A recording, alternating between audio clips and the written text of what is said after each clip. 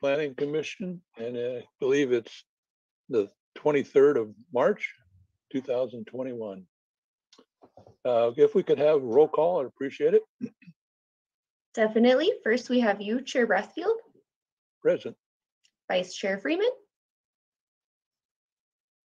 Is muted. Sandy, oh no, Sandy's Muted, Sandy is a little frozen on my screen. Is, is yeah. Looks as anyone good. having that same problem? Present, is anyone else have a? You're right, I think Sandy's maybe got a little bit of an internet issue. Yeah, internet, okay. Maybe I should turn the TV off. or shoot it. Hmm, Maybe. Your screen is a little frozen. I see you on there, but, oh, now it's Try moving. shutting down and just rejoining. That could work. Reboot, reboot Sandy. All right, and to continue with the roll call, we have Commissioner Dawson, Here, Commissioner Fletcher, here, Commissioner Latassa, Here, Commissioner Milich, here. and Commissioner Reed. Present. Nobody is absent. Back to you, Chair. Cool. Appreciate it. Going uh, right along. Do we have an, an an agenda item for the minutes? Or a public comment? Oh, oh, we can do, yeah, I'm sorry. Let's do public comment before we do the minutes. Thanks, Mike. Sure thing, Chair. Let me go ahead and share some information about how the public can participate in today's meeting.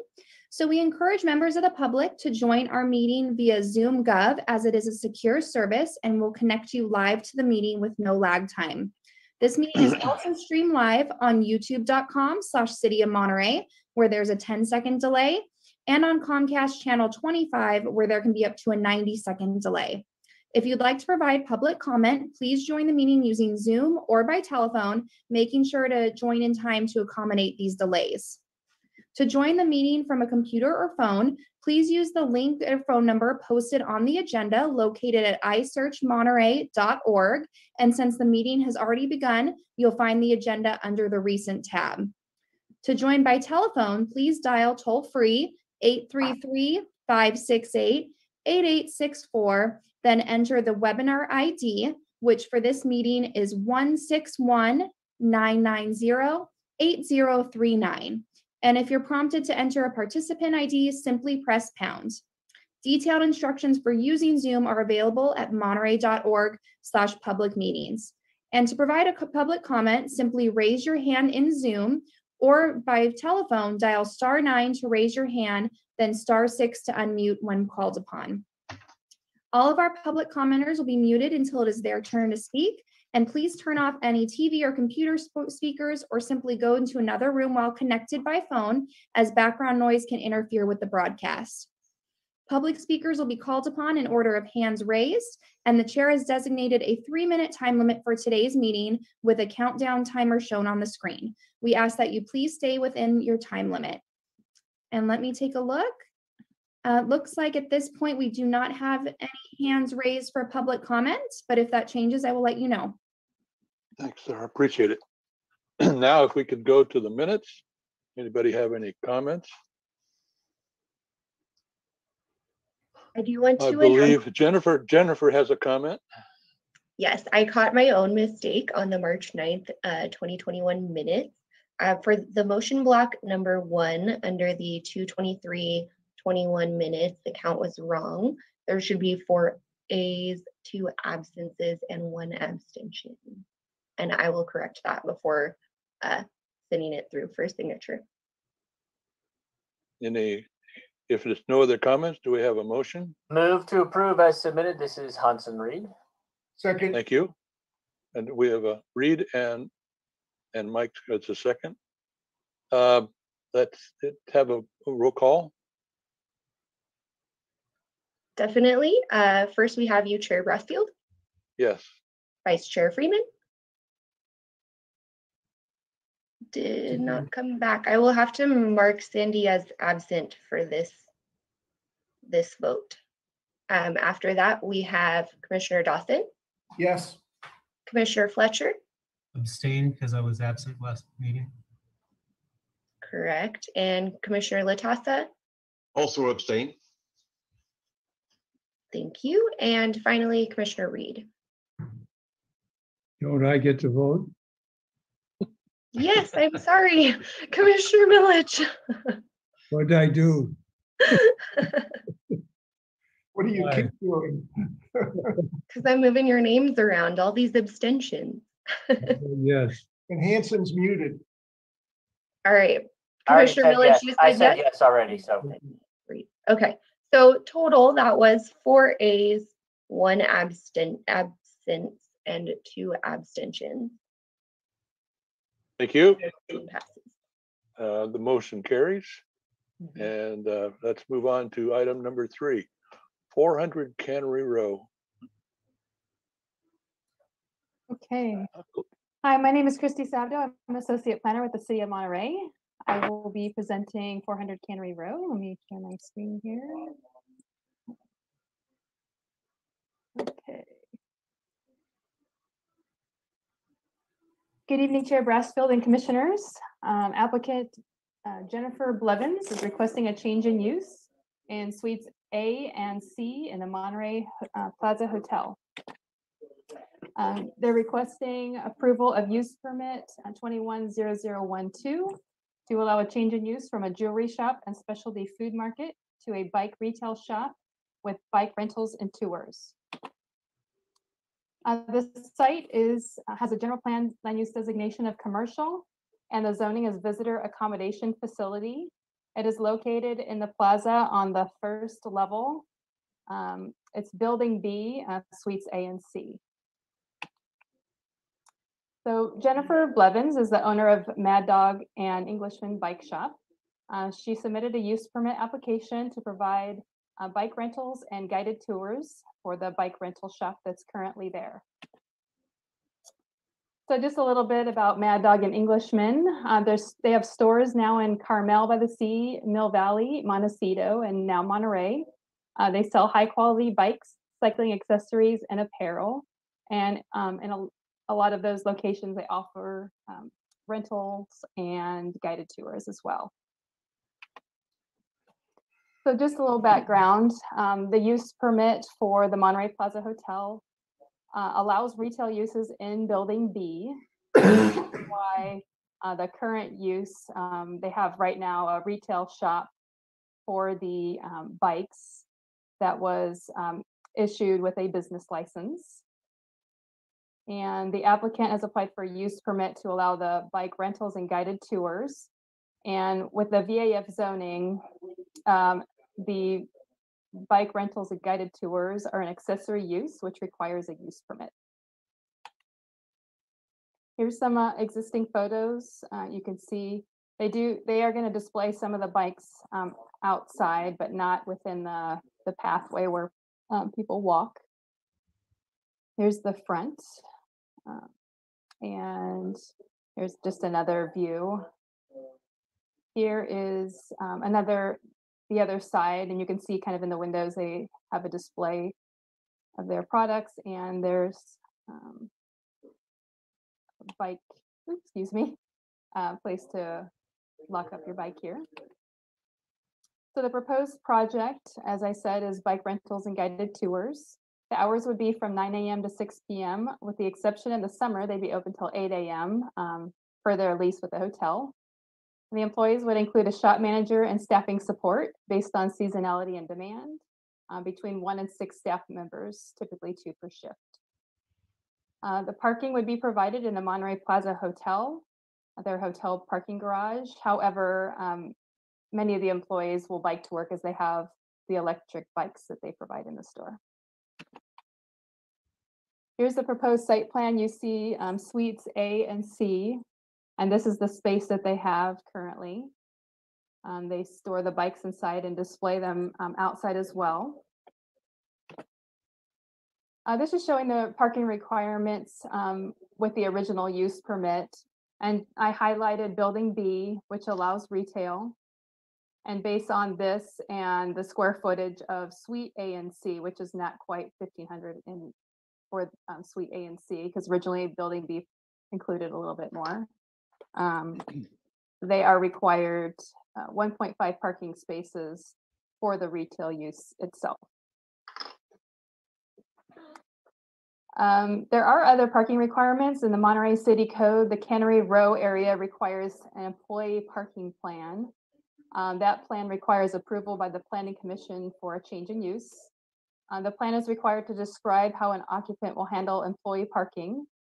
Uh, the employee parking plan may include an on-site lot. So um, in this case, they're proposing a maximum of six employees at any one time.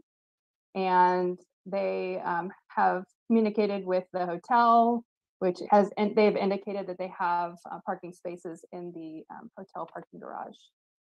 So just to summarize, the required parking for the original use permit, they're required to have two spaces for the retail use and um, an employee parking plan for the Cannery Row area requires six spaces, so they're required a total of eight spaces. Uh, the required parking will be in the Monterey Plaza Hotel parking garage, and the hotel has confirmed parking is available. Um, the required use permit findings are the proposed use is in accord with the objectives of the zoning ordinance and the purposes of the zone. The use is consistent with the objectives of um, use permits, um, like the findings and the purposes of the VAF zoning district. uh, and that the proposed use is an allowed accessory use with a use permit. The proposed use would meet the requirements of the original use permit and the Cannery Row um, requirements for parking, which is an employee parking plan. The proposed use and conditions under which the use will be operated will be consistent with the general plan, will not be detrimental to the public health, safety, or welfare of persons residing or working in the neighborhood or in the area. Um, The proposed commercial use is consistent with the general plan and that is it a, it's a commercial use itself. The proposed use will not be detrimental to properties or improvements in the vicinity. The proposed use will comply with any specific conditions required for that use. Uh, There are no um, special conditions needed for this, um, as recommended by staff. Uh, The standard conditions will apply. Staff recommends approval of the use permit uh, to allow a change in use from a jewelry shop and specialty food market to a retail shop that allows bike rentals and tours in Building B uh, at 400 Cannery Row. Um, It's my understanding that the applicant was going to join us. I don't, I didn't see her on the line earlier.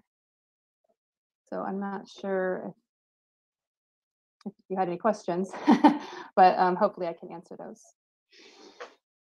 Any questions? I, I have a question. It's Go ahead. a general question.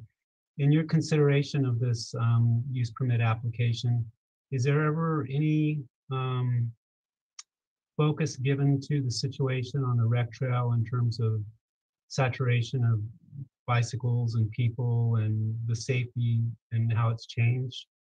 It seems like we have an awful lot of these bike, bicycle rental shops, and I'm just wondering if there's a bigger picture that someone's keeping an eye on here.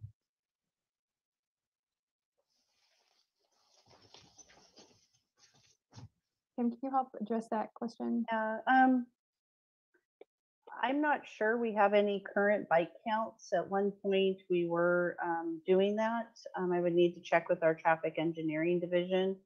Um, we have talked about putting up bike counters on the, um, recreation trail to try to get a sense of what the total, um, volume is on the recreation trail. And obviously, peak and time of day is sort of interesting data as well. I think originally that was funded by some NIP projects, which were then defunded. So, you know, it's not a bad idea in the future to try to understand, especially as we're moving to multimodal transportation, how many more people are riding bikes. I guess the one thing I'll have to offer is um, the one of the things that we really like is for our hotel guests to hopefully park once. And when they come into town, and we know we have a peak on um, certain peaks related to hotel traffic. And if they can park once and use our trolley or use bikes along the recreation trail to explore our city, um, I think for a long time we've thought that's a better option than additional cars on Lighthouse Avenue or in that area. So I can't directly answer your question, but it's, it's not a bad idea for, for future efforts. And there are some bike counters we could purchase. Well, what I learned from this is that there is awareness of the situation down there, and that- that's really what I was trying to understand. So, uh, thanks, Kim, I appreciate that. Commissioner Any other you have a questions? I have a question. Um, I understand that there's going to be, uh, bike repairs and, and, uh, whatever. Is, uh, is, is that going to make a difference to the use permit? Uh, no, it's not. Um, I would think that that's part of the, the retail use. Okey dokey. Yeah. Other questions? Yeah, Mr. Chair, I have sort of a process question. So um, the- I'm curious, this, uh, Christie did an excellent job on the report. And, but why wouldn't this go to the zoning administrator? It seems like more of a ZA kind of an item to me. I'd be happy to address that issue. Um, due to COVID, um, we have canceled all our zoning administrator meetings. And we hope to, um, reinstate those again after we're open and able to have those in person. So right now, for simplicity, um, as we were trying to get accustomed to having three boards and commissions all, you know, completed via Zoom, um, that was a big transition for our department. And so we consolidated all use permits and variances at the zoning, at the planning commission level. And for example, you recently considered a, a fence variance. Um, we normally wouldn't take fence variances to the planning commission, but you've been reviewing all use permits and variances at your Okay. level. Thanks. Other questions? Did Sandy come back to us? Yep. Uh, I don't know hear. what was wrong, but something was wrong with the iPad and so I pulled out the old iPad and it works just fine. So, Just thank wanted to confirm, yeah, I just wanted to Yeah, no, I'm back. back. Appreciate it. Um, I have a, I have a question. You spent a lot of time in your report on the the topic regarding dates and parking requirements. Um, from the time that it started, what is the current number of parking spaces required, required? For the hotel or for the proposed use? Well, then I was gonna get to the proposal, but up through the current use, when the previous use with a jewelry store and food, what was the total parking requirements then? So the total parking required um, for the original use permit was five hundred and fifty-eight parking spaces. And for building B, um, that required two spaces. So this is kind of just swapping out uses that was, you know, the retail uses um, are permitted per that use permit. So this is another retail use going in. Um, and it just requires um, one point five rather than two parking spaces because suite A and C, um, and they included, originally, building B included, um, another small area. And This is just including, um, suites A and C. Um, so, um, it's basically requiring the same or 0.5 less for this use for building B. That makes sense. I can pull up the, No, that, that's answered my question. okay. Second question would be in the, in the wording, it was kind of framed with the word typically or seasonal. And it, looking at two employees, up to two employees. In summertime, or should we assume that there would be more employees? Well, it said um, a total of six, but then typical two, I guess, maybe up to six. is, um, Oh, sorry, I thought it was sharing still. I Did the applicant come back online? Did she dial in? I don't see her. Okay, Let's And it- see. can't answer a question then. Um, o- On this kind of a project, when the hotel says that they can absorb up to six or eight employees, um, that's what I'm assuming is what their, their comment refers to. It's, there's no change in a higher number. It's just utilizing existing spaces. Is that correct? Yes. U- Okay. Utilizing existing parking spaces. And the So- hotel keeps track of those. So there's really no change at all in, for this use in the number of parking places. Right. And that includes some public parking spaces on the street. Is that correct? There's gonna, there's- they're not parking on the, the street. They have to, the, um, the city code requires uh, parking on site or to provide off-site parking with a parking agreement, but they're providing it on site, so they don't need a parking agreement. Okay, so that, that doesn't include the, the street parking. Right, Correct. there's no street parking. Thank It's you. not That answers my, that, that answered my question.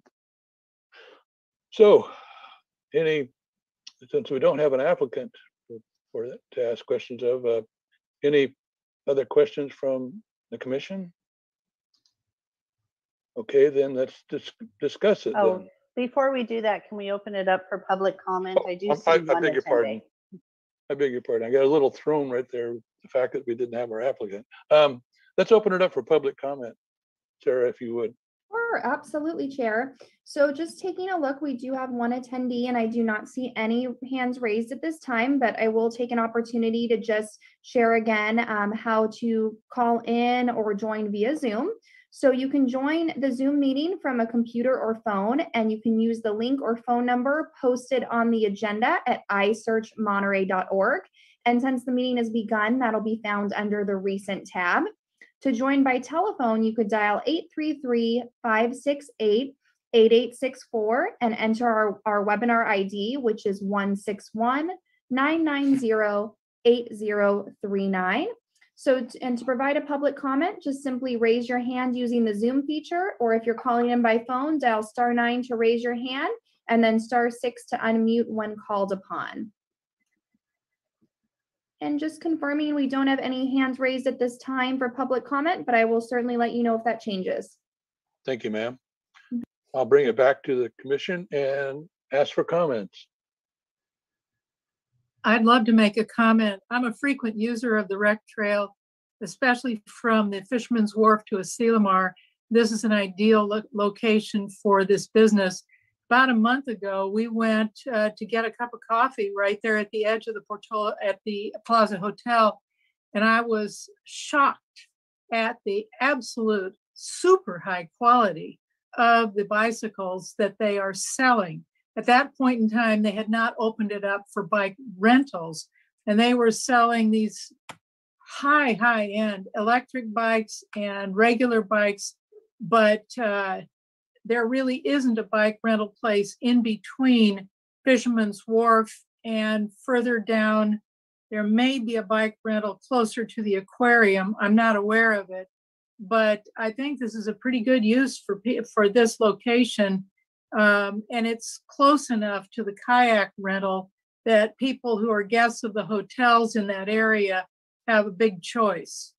Uh, it- it's a very well-run business and very attractively presented. Thanks, Cindy. Anybody else? Yeah, um, I, it's So- a- Could we get a second? Sandy, did you move approval? I don't think she moved approve. I was just making a comment. Oh, so then never mind. I'm sorry to interrupt Commissioner Latassa. Please proceed. oh, actually, I was going to make a motion. uh, uh, But, but, you know, it's, it seems like a really straightforward application, just swapping uses, not dissimilar uses in this space, and it seems very appropriate. So I'll Make a motion to uh, approve um, the uh, permit amendment twenty-one 12 at four hundred Cannery Row, as submitted. It. I'll second that. We have a first and a second. Let's have a, any other comments? I agree with Dan that, uh, and it's, it's basically anecdotal, but even from other commissioners, that the, the number of bikes along the rec trail is increasing, uh, particularly in COVID. Um, and we, I agree, we also probably need to figure out a way to track how many people are on it because it I know that on the NIP, they were talking about widening the rec trail in that area. Ooh. And that's going to take some good engineering. It's probably going to have to be cantilevered. But uh, anyway, so yeah, they, these are important considerations in what we've been hearing. And then there's other issues that arise of seawater rise and so forth. How is that going to impact all these areas? So this is going to be an issue that keeps coming back to the commission. Okay, if there's no other comments, then let's have a vote. All right, so I got the first from Commissioner Latassa and the second by Vice Chair Freeman. For the vote, we have Chair Brassfield, Yes, Vice Chair Freeman, Yes, Commissioner Dawson, Yes, Commissioner Fletcher, Yes, Commissioner M- Latassa, Yes. Commissioner Milich, yes, and Commissioner Reed. Yes. Great, that was unanimous. Thank you. thank you very much. And then let's move on to item number four, and I believe someone will have a report for us. That's correct. Uh, Chair, and this is Grant Leonard, uh, Housing Analyst for City of Monterey. And today I'll be presenting with you our Community Development Annual Action Plan. Allow me to share my screen.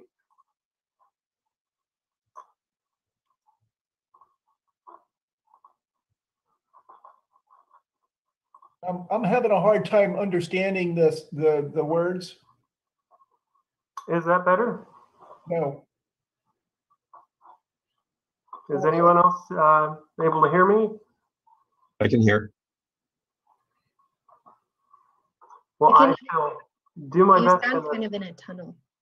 you're a little echoey, but the uh, PowerPoint is real clear. Sure. Okay, well, we'll get through this together. it's like you're speaking in a well. Yeah. We do feel a little underwater here at times. Um, so the Community Development Block Grant Program for the next fiscal year. This is our, basically our annual budget and our plan, and so we call it the Annual Action Plan. Uh, first of all, why Community Development Block Grants?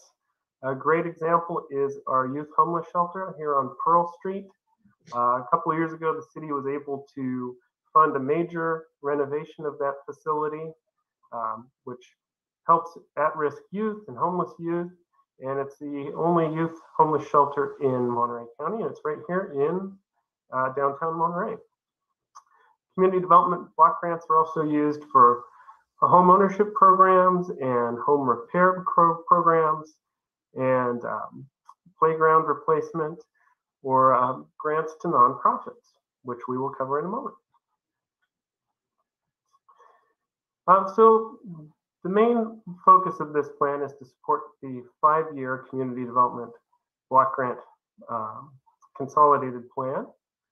And we focus on four major areas, which is our nonprofit service grants, our public service grants, infrastructure improvements, such as for CHS, the Safe Place, the homeless shelter, housing preservation, that's our grants for our homeowners who are low income, also our first time home buyer program, and then also having a good administration of the city's housing office. And there are certain limits that apply to these categories. Administration is limited to 20% of the total budget, and public service grants are limited to 15%. But there are no limits on infrastructure or housing preservation. But this year, we will be receiving a federal grant, our entitlement allocation of 259,829. And we have program income that the housing office earns every year. That comes from loan repayments and ground leases that we have through the city. And we expect our income to be approximately $900,000. So over the years, the city has appropriately invested its housing funds, and those are paying dividends, which is uh, the majority of our housing budget at this point. The first program we'll cover is our public service grants. We fund a variety of services, everything from food to legal services to uh, homeless services. And we also serve uh, youth through uh, several programs, including most recently uh, the court appointed special advocates, CASA of Monterey County. This is the um, list of people who applied for public service grants organizations. We received 12 grant applications this year, totaling a request of $234,000. Uh, many of the granting or agencies were requesting the full amount, twenty or twenty-five thousand dollars. Uh, the third one, Community Human Services, had two requests.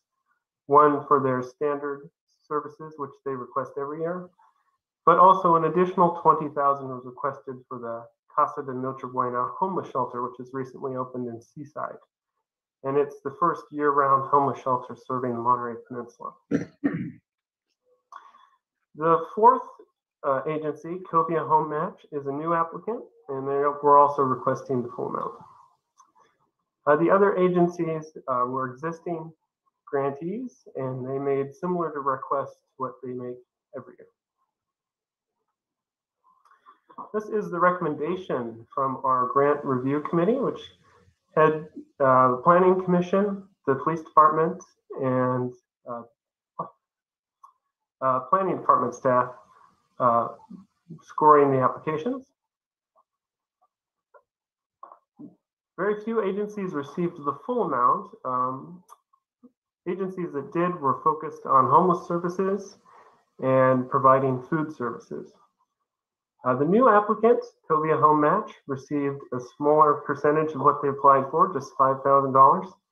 Uh, that was to give them um, a start in the area a little bit of funding so that they could uh, prove their service over the next year and then return for an additional grant uh, thereafter. The major change is at the bottom, the 12th applicant, Salvation Army. They had applied solely for rental assistance funding this year. However, the city of Monterey has its own internal rental assistance program. And additionally, the Salvation Army is receiving funding from the County of Monterey and the United Way of Monterey County for rental assistance. So funding them would have been a duplication of funding, uh, which we were not able to do. The total recommended budget for this program is 172,000, and that is the full 15% that we're allowed for the total budget. Uh, so we're up to our budget limits, and we're able to fund um, every agency with exception of Salvation Army because they're receiving other funds for that program. For our public infrastructure grants, we received two applications. One is from the Veterans Transition Center to repair two um, duplexes in Marina, which will serve homeless veterans. Uh, this is an example from 2019 when the city funded a very similar project and you can see the first photo is an uninhabitable duplex. And then the second photo shows it nearing completion as we uh, repaired that unit. Uh, the second application was from Meals on Wheels, which was to fund outdoor improvements to their senior center in Pacific Grove. That program was not recommended for funding uh, because it was determined to be a duplication of what was offered within the city of Monterey from our own senior center. So again, not something we could fund. However, the Veterans Transition Center was recommended for funding. Our third program is our standard home repair grants for low-income seniors. That's our Mr. Fix-It program, our home accessibility program, and our home safety program. We also have a major loan program for homeowners who may have uh, significant needs, uh, such as a new roof. Uh, we also have our purchase and resale program, which is funded through this, which allows the city to buy back uh, low income housing that's for ownership, repair it, and then sell it to our wait list of low income home buyers.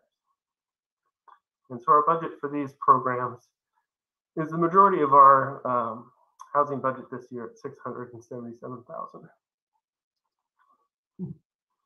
Finally, the planning and administration uh, will be providing technical assistance to our grantees.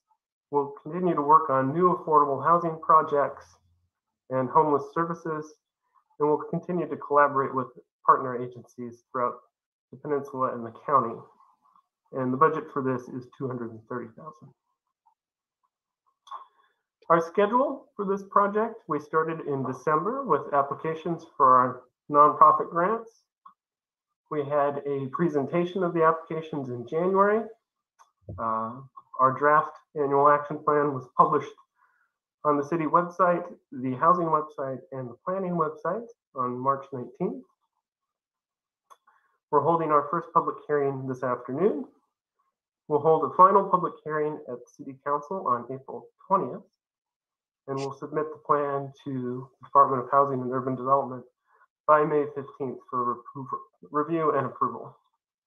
And then starting July 1st, we get to start delivering these programs and projects. And with that, I'm happy to take any questions. Any questions of Grant? If hearing none, let's. No, open- no, no, I have one question, just one question, Grant. You know, I know you didn't talk about this, but I have two questions. How does your budget compare this year to last year's budget? When I, I don't think the COVID impact was as great.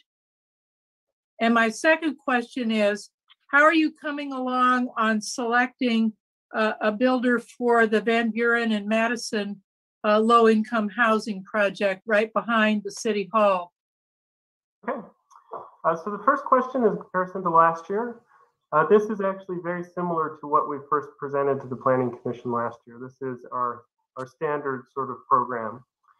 However, by April of last year, with the effects of COVID-19 being felt, uh, the City Council shifted that budget to focus on rental assistance. Um, so that's the major difference. This budget does not include community development block grants for rental assistance. And the reason for that is the city has received 1.2 one, well, 1.2 million from the County of Monterey and the United Way to provide rental assistance. So that is now a separately funded program. We're still doing it, uh, but it's not funded by block grants. Okay, And then the second question, uh, for our affordable housing sites that the city owns and we're looking to redevelop, uh, we have entered negotiations with First Community Housing for one site located at Adams Street across from the Sports Center. And we've entered negotiations with Mid Penn Housing Corporation for the remaining three sites, one behind City Hall, the Harbor Yard, and then the Calle Principal parking garage. Uh, so those are just starting right now, early negotiations, and then we will uh, return to City Council with a development agreement. thank you. Any other, thank you, thank you. Any other comments? I mean, Um, questions for, Yeah, I, I had a question, uh, Grant. The, so when I, uh, read the agenda report, there's a hyperlink, uh, you know, in blue ink, uh, to locations on the report. And when I clicked on that, it's, it said directory file dead or something like this in red ink. So there was no actual link. Kim was nice enough when I spotted this, um, to send me the actual link. So you might want to clean that up for the um, City council. Uh, just that the, you know, there, that, that's where all the meat is, because, you know, um, uh, Chair uh, Brassfield and I met with this group twice to go over and try to figure out the, um, um, the, the individual grants for these 13 different groups. And it was really interesting. It turned out the, you know, police department, um, Jake Pincus was really sort of led the charge as far as helping us um, make these decisions because he's down there, you know, dealing with uh, these issues on the street. Um, so anyways, it was just that the, I, I wasn't able to access the actual numbers for these different groups, uh, except that for the file that, that Kim sent me. That's all. Excellent. Yeah, we'll get that updated. Thanks, Terry. It's kind of ironic that the person leading the charge on grants is named Grant Leonard, but uh, I appreciate always good information coming from Grant. Let's open it up for public comment if we could, Sarah.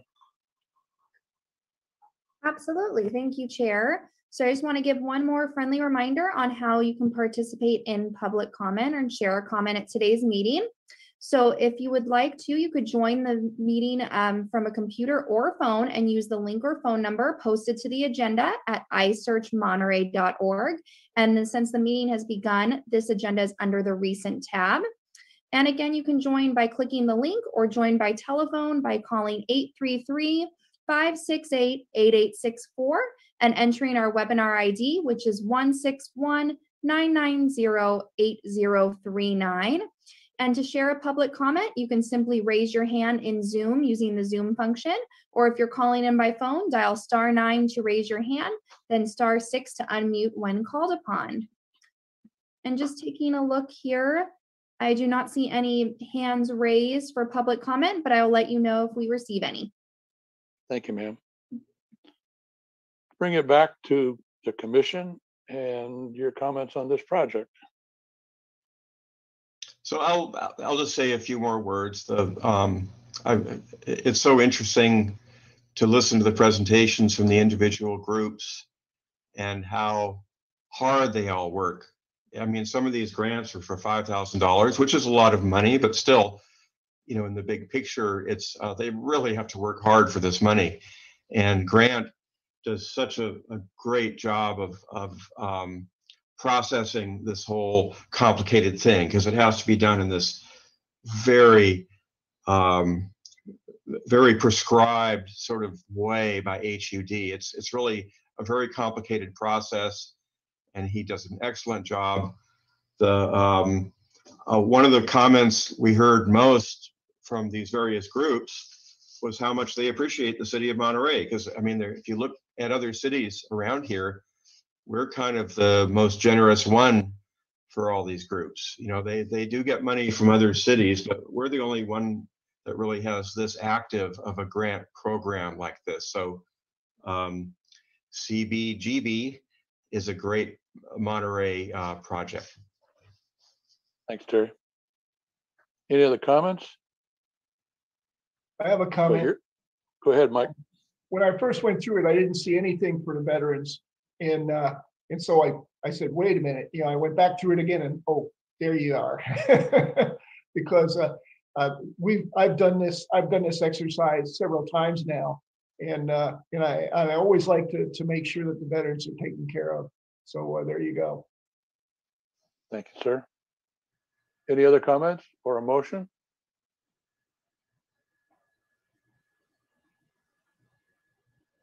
Do I hear a motion?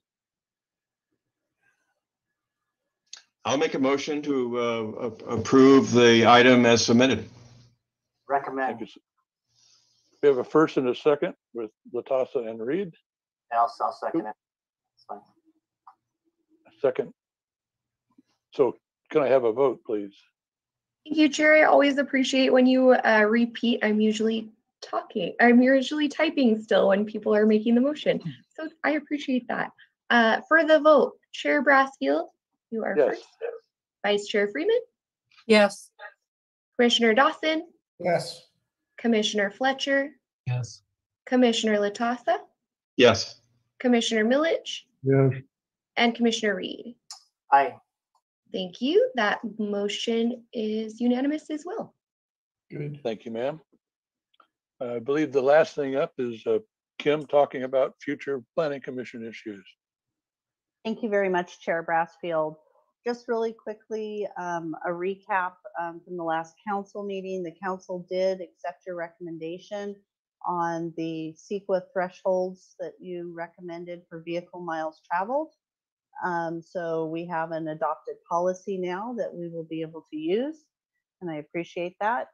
Um, we also had a really interesting presentation from the Association of Monterey Bay Area Governments they received a grant from our local energy provider, 3CE, to update the greenhouse gas inventories for the various cities. And what it shows is because of our city's commitment to 3CE, which um, sources our electricity from renewable sources, we've just about met our 2030 goal. We have a little bit more to do, but not much. So, you know, we're about nine years, if you will, ahead of schedule.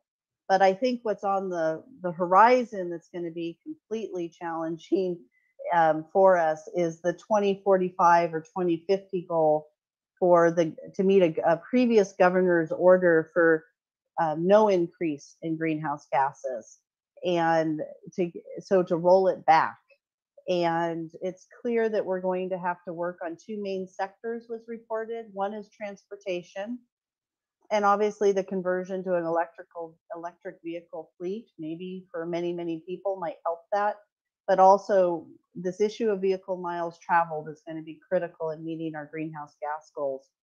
In addition there was a concept presented um, and some cities are already starting to adopt this, but the transformation from natural gas in your home to maybe power your um, ovens and your water heaters by transferring that or changing that to the electrification of those appliances. Um, natural gas was really identified as a um, high contributor to greenhouse gas um, levels. So it's interesting that those were laid out as two potential uh, major issues that we'll be dealing with um, for you know the next three decades as we try to meet our, our state goals. Um, we also presented our general plan report and we have to submit that to the state of California. Um, so I guess just the takeaway for me is we did see our only housing construction we really saw that was produced was accessory dwelling units, and there were a total of 13 housing units built in the city of Monterey last year. And so the real focus of the report was that without a water supply, we will continue to um, have significant hurdles in meeting our housing requirements from the state of California. Um, on the horizon, um, tomorrow we have a council is having a study session. Um, the city attorney is going to be presenting um, various issue on the Brown Act and conflicts of interest. Um, so we've invited all of our commissioners to attend. Um, all of us will be attendees and, um, you know, just general attendees. So you'll have to raise your hand if you have a question, but encourage you to do that if you so desire. Um, we have a couple items on the April 13th meeting. I will be on vacation for that meeting. So Fernanda Roveri will be uh, managing that meeting for the planning office. And that concludes my report. If you have any questions, I'm happy to answer them. Thank you, ma'am. Any questions of Kim? I've got, I've got a typo on uh, packet page 16. We're, we're appealing the PC to the PC. Really? Probably, probably not allowed. Look at that. Like a dog chasing his tail? Yeah, yeah. But what happens when he catches it? Yeah. I'm sorry, did you say packet page 16? Packet page 16, one six. Thank you. I will check that out. Sorry about that. Don't be sorry. Thanks for catching it. Interesting dilemma. Okay. Thank you. Um, I, any commissioner comments? General type.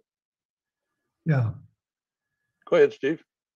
Um, we're all in favor of uh, eliminating greenhouse gases and uh, uh, I just read something recently that uh, posed some concern to me, and that is where is all our electricity coming from to take care of uh, future electric uses? And uh, it's something to to worry about because we uh, don't have the, the present ability to become an electrified uh, society. You're here. Any other comments? I have a, a one, here- I have a solar farm here and, uh, and I've got, I've got, I don't know how many hundreds of thousands of pounds of CO2 saved, how do I sell that to somebody? So if you're doing net metering right now, Right, so you're getting compensated for that electricity and it goes back into the grid.